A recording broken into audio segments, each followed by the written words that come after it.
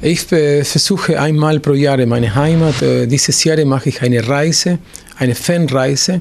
Und am 4. November mache ich ein Konzert in Iguazu Wasserfallen, weil wird gewählt die, die sieben äh, Naturwehr, Naturweltwunder und ähm, fahren mit mir so mehr wie 200 Fans, äh, auch holländische Gäste kommen sie auch in meine Heimat und äh, werde auch ein bisschen meine Heimat präsentieren.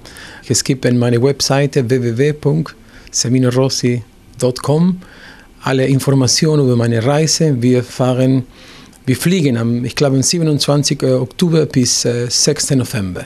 Nächstes Jahr mache ich eine große Konzert, sind äh, 55 Konzerte in sieben verschiedenen Ländern. Ich komme am 1. März hier in Holland, in Anaheim. No? Und äh, ich hoffe, das können Sie mich besuchen. Es ist eine große äh, Orchester dabei und äh, es ist eine Mischung von Spanisch, Deutsch. Äh, ich werde versuchen, einen Titel in Holländisch zu singen.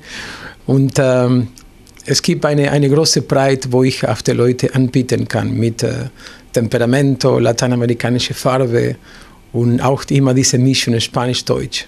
Es gibt äh, Publikum, wie zum Beispiel äh, das mehr spontan sind oder in der ersten Lied äh, sofort sagen seine Freude und es gibt andere Publikum, was brauchen zwei, drei Lieder, dass sie zeigen, was sich, äh, ähm, dass sich, dass sie fühlen.